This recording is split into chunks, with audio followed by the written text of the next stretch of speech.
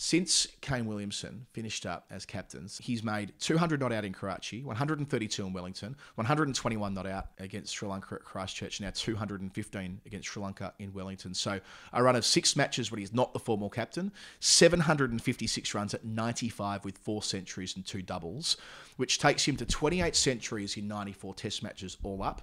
Joe Root, who we think of as being, you know, so productive, reaching three figures in the last two years, 29 centuries in 129 tests, so he's played 20 35 more. 35 more test matches for one more century. And then hmm. even Smith, who- we think of as the modern day ton machine, he's got 30 in 96 test matches. And who knows, the way Williamson's going at the moment, he might have 30 in 96 as well in two test matches from now. So it's a reminder that, you know, it's a shame that Williamson doesn't get to play more compared to the, the other players that we, we talk about hmm. in the big four.